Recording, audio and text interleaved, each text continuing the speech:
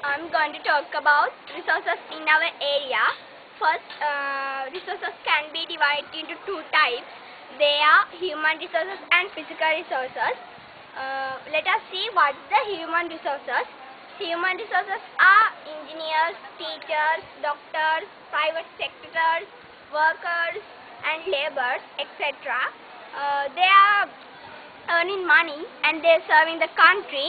Um, let us see what are the physical resources. Physical resources, main mineral physical resources in Sri Lanka, uh, gem. Um, it is also valuable. Uh, other physical resources are trees, environment, waterfalls, lakes, tanks, uh, rivers, etc. Mm, they are also valuable. Uh,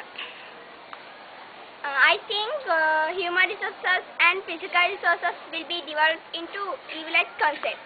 Thank you.